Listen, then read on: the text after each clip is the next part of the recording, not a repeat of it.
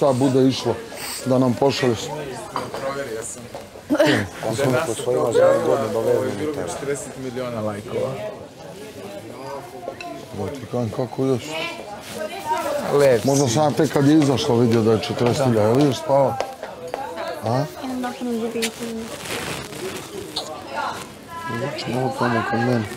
Я должна вот это закручивать. Да,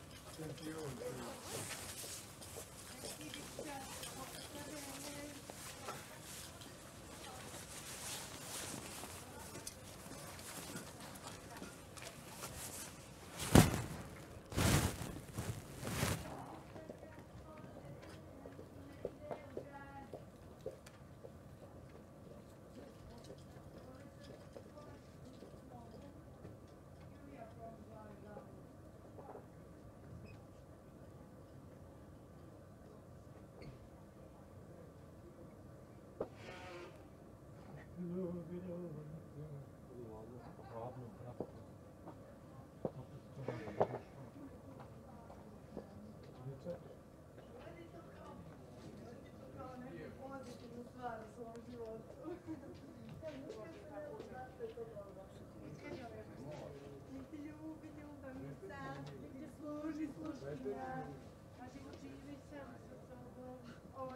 još malo kod tebe da kruču.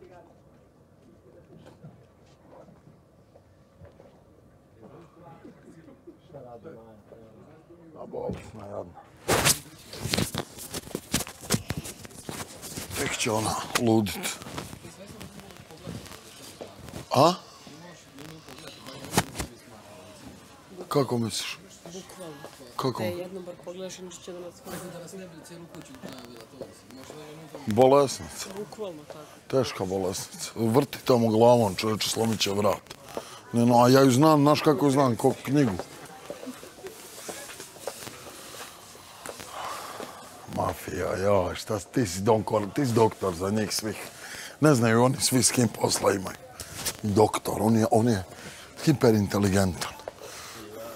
Šta ti? Mene zastrašuje njegov pogled. Vjeruj mi da je o- op- ozbiljno opasan.